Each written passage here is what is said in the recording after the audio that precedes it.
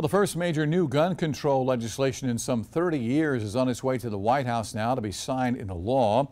The bipartisan legislation will enhance gun background checks for people under 21.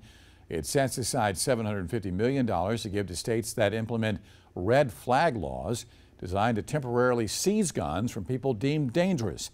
And it closes the so-called boyfriend loophole, preventing someone who's been convicted of domestic abuse but lives outside a victim's, victim's home from buying a gun. 15 Republicans, including Senator Lindsey Graham, joined Democrats in passing the bill in the Senate. 14 Republicans in the House voted for the legislation as well.